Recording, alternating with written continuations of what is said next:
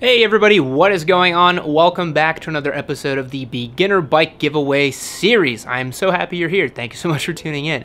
Uh, if you don't know if this is your first episode checking this out, uh, welcome. This is the show where we talk about our giveaway bikes. So this is one of them right here, the uh, 2019 Yamaha YZF R3, and we also have a 2018 uh, Suzuki SV650 up for grabs. I am giving them away for free. Click the link below on our Patreon to learn more about how you can get started to win, or if you want, you can buy some merch and every dollar you spend gets you one entry to win. So click those links and check that out. But today, I thought it'd be fun to walk through everything that's different about the 2019 Yamaha YZF R3 versus the first version of the R3. Uh, fun fact, I used to own a 2015 R3, so I'm pretty familiar with the platform. I put about 18,000 miles on my R3, so I'm pretty familiar with it. It's been really interesting owning this new version of it, but I thought it'd be cool if we went through in depth and took a look at everything that's different about this bike versus the 2015 model. So let's take a look.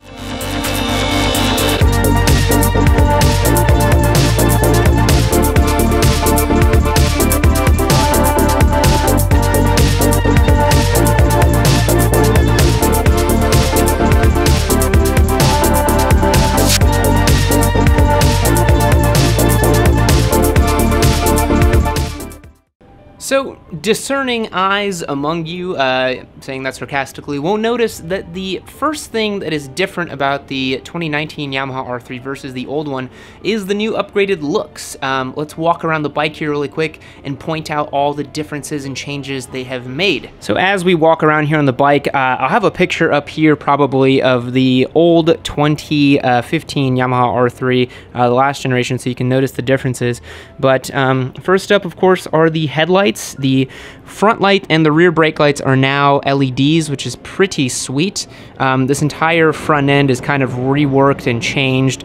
Um, they went through and made the gas tank a little bit lower and wider. It also comes with these cool little MotoGP style accentuations here, kind of matches the uh, R1 in terms of that. The side fairings here are all new as well. Um, there's a really interesting, uh, from what I understand, you can take out these uh, fairings pretty simply and then slide in a Yamaha factory uh, frame slider option that doesn't cut the, uh, the fairing. So pretty cool addition to the bike there.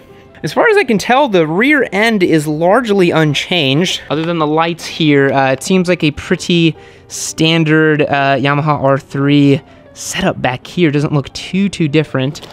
Um, but overall, a pretty big styling change for the R3 and definitely places it in contention for the best looking uh, beginner bike in the class, I would say. Uh, it's a really sharp looking motorcycle, as you can tell. Uh, I think my favorite feature of the looks, of the upgraded looks, is this little air duct right here. Uh, even though it doesn't lead anywhere, uh, it's still pretty cool to see, and it gives it a really, uh, you know, distinctive kind of look to it. Um, if we can turn on the lights here, you notice that gives it a really, really sweet look. It's a great looking motorcycle. You really cannot fault them for that. So definitely one of the first major changes you'll notice is the looks. As I mentioned in the other video I made, and I've talked about this before, Yamaha did not change these turn signals. So this is still the same bulbous unit from uh, every other Yamaha they've been making since forever, since like the 90s, I think. So that's definitely an old spot there for them. The other major change that they made is that now the Yamaha R3 rocks proper uh, Sport Max Dunlop uh, radial tires. They're no longer the bias ply units that used to come on the other R3. I'll put up a picture of what those used to look like. And this just gives you a much more planted feel. It actually feels like a proper sport bike tire.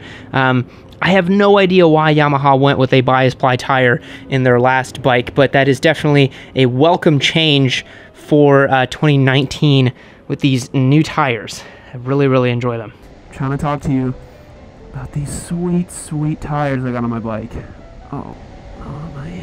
Another welcome tweak that Yamaha made to this motorcycle is the clip-ons here. As you'll notice, they are now mounted underneath the triple clamp, which gives you a more forward-leaning kind of uh, uh, ergonomics package to this motorcycle. Before, these clip-ons were actually placed above the triple clamp right here, and so you had a much more upright position, so it makes the R3 a little bit more sporty, a little bit more fun to ride, um, and it's a really, really welcome change. It's actually a modification I did to my R3. I put on the uh, clip-ons underneath the triple clamp just like this. So recently, I actually took these clip-ons that were on the bike right around here, and I put them right under the triple clamp.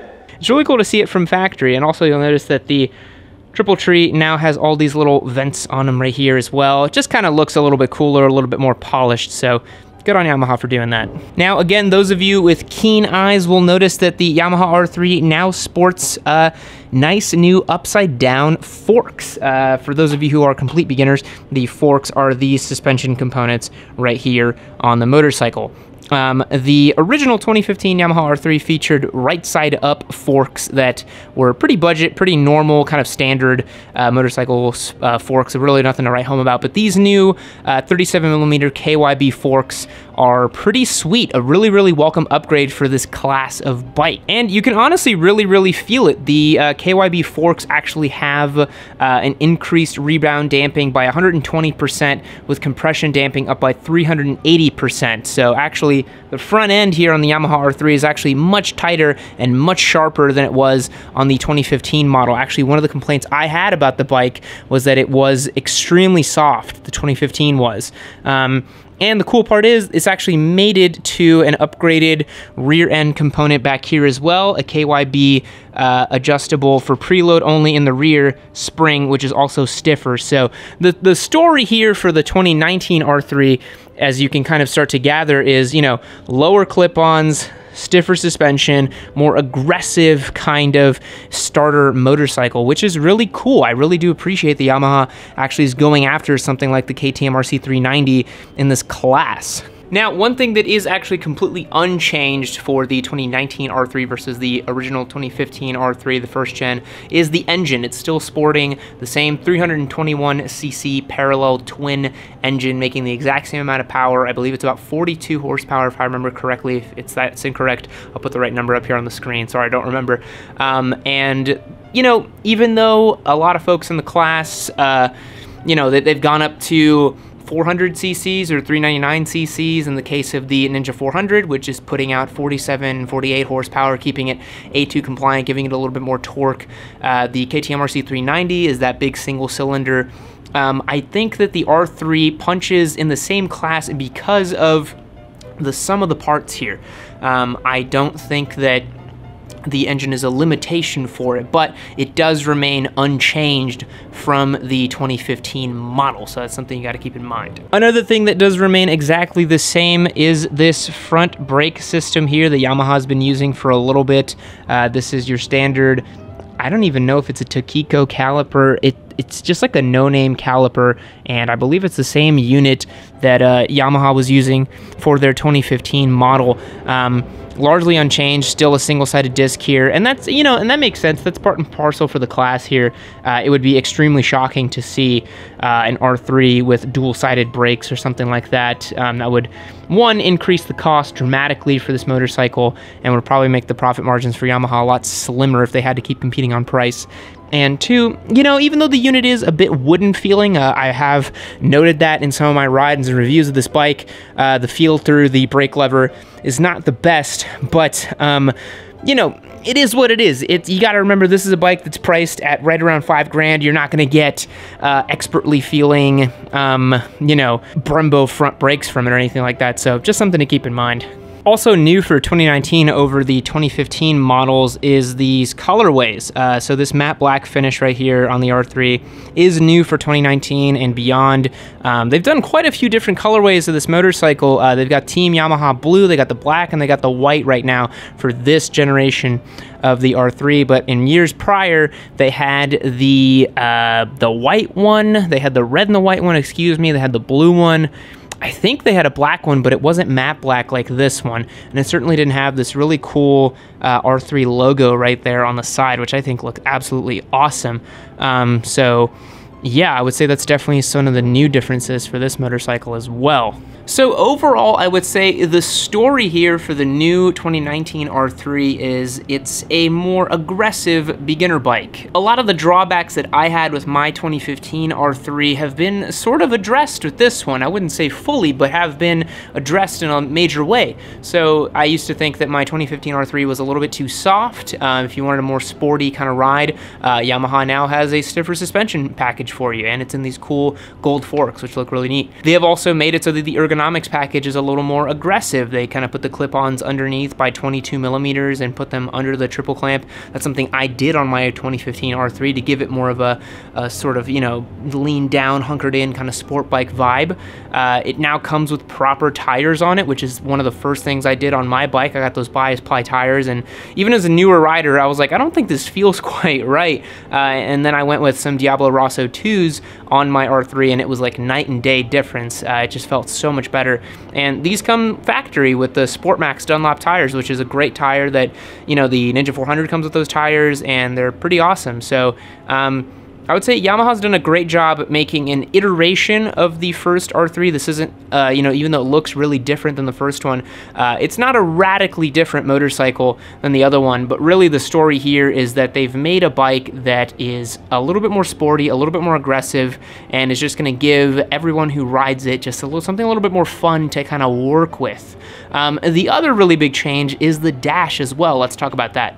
So one of the big stories here for the R3 is the new dash. Um, I'll put up a photo here right around this area of what the dash used to look like on the R3. Uh, so the big story here is that, you know, it's got this full digital dash now. Uh, the readout is much more clear, I think, with the tachometer here up at the top and then huge speedometer reading right here, digital gas gauge right over here.